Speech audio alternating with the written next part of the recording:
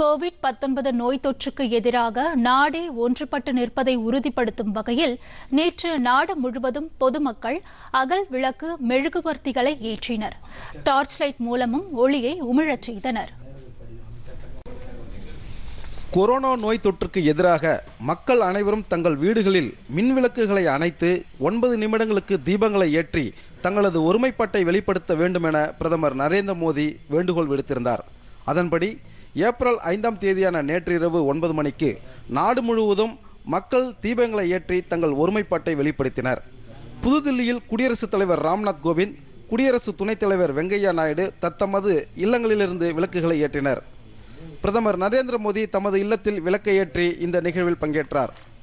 மக்களவைத் தலைவர் ஓம் பிர்லா மத்திய அமைச்சர்கள் அமித்ஷா ராஜ்நாத் சிங் பிரகாஷ் ஜவடேகர் ஹர்ஷ்வர்தன் ஜிதேந்தர் சிங் பிஜேபி தலைவர் ஜே பி நட்டா உள்ளிட்டோர் தத்தமது இல்லங்களில் சமூக இடைவெளியை பின்பற்றி ஒளியேற்றினர். சரியாக நேற்றிரவு ஒன்பது மணிக்கு மக்கள் தங்களது இல்லங்களில் இருந்தபடியே மின்சார விளக்குகளை அணைத்து அகல் விளக்கு மற்றும் மெழுகுவர்த்தியை ஏற்றி ஒளிரச் செய்து கொரோனாவுக்கு எதிரான ஒற்றுமையை வெளிப்படுத்தினர். பல்வேறு மாநில முதலமைச்சர்களும் தத்தமது இல்லங்களில் ஒளியேற்றினர். பிரதமர் நரேந்திர மோடியின் தாயார் ஹீராபென் காந்தி நகரில் உள்ள தனது இல்லத்தில் தீப ஒளியை ஏற்றி தமது ஒருமைப்பாட்டை தெரிவித்தார்.